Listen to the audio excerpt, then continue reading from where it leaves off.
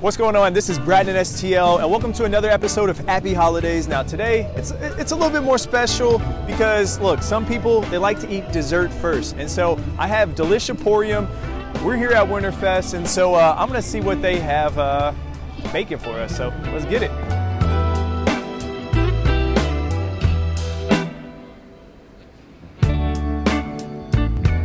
Hi, I'm Bree with De'Lish Emporium. We're down here at Winterfest in Kiener Plaza. I'm to tell you a little bit about our desserts today. We definitely have something for everybody. We've got some gluten-free and vegan cake cups. We've got red velvet or white chocolate peppermint.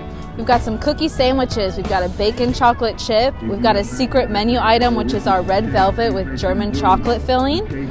Uh, and we've also got some brownies. These are definitely our top sellers. So they're Nutella swirled brownies, and they've got a salted caramel buttercream on top. And then I'm gonna bring Jay over for our waffle cookies. Hey, I'm Jay, the other half of De'Lish Emporium. Today we have our waffle cookies, AKA Num Nums. Uh, we have a cookies and cream, and we have a birthday cake. The word Num Nums came from our six-year-old daughter when we decided to make these for, her, and she walked around the whole kitchen the whole time saying Num Num. So we just decided to call them Num Num waffle cookies. All right, so that wraps up Winterfest. I'm gonna take this to the kitchen. I'm gonna meet up with Jawan Rice, you know, celebrity chef that we have here. And uh, we're gonna bring us some familiar faces that you know from around town. So uh, until next time, and uh, happy holidays.